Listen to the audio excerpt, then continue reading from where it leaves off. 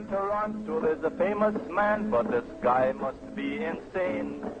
His prices are so low, any day he'll be broke. Honest Ed is his name. He sells pins and needles, shoes and tacks, shirts and ties and household wax. H-O-N-E-S-T-E-D. Honest Ed, crazy Honest Ed.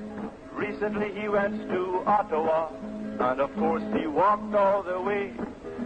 They offered him the train for 198, but he couldn't afford it that day.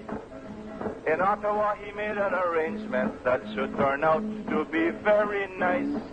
If you buy your stuff at Honest Ed, you'll get income tax at half price. He sells pins and needles, shoes and tacks, shirts and ties and household wax. H-O-N-E-S-T-E-D.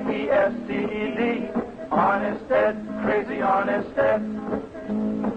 A fellow came over from England and he went down Bloor Street Way.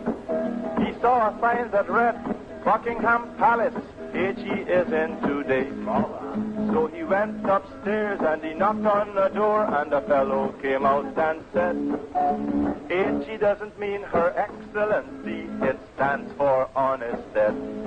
He sells pins and needles, shoes and tacks, shirts and ties and household wax. H-O-N-E-S-T-E-D. Ed. How can he be honest when his prices are so low? This guy chases a bargain like a woman would chase her Joe.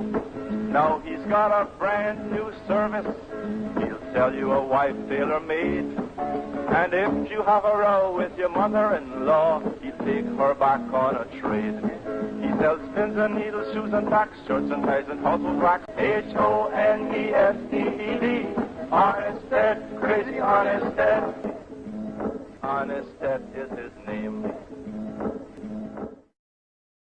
On the floors, you may start to wobble. Cause their wood's crooked when you're looking for that bobble. Walking into ads and your wallet has no fear when they give away free turkeys at least two times a year.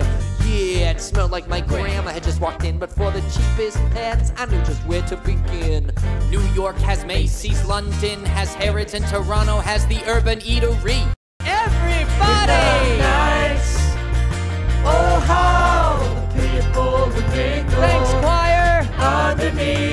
golden glow from your everybody knows. Definitely real choir. Right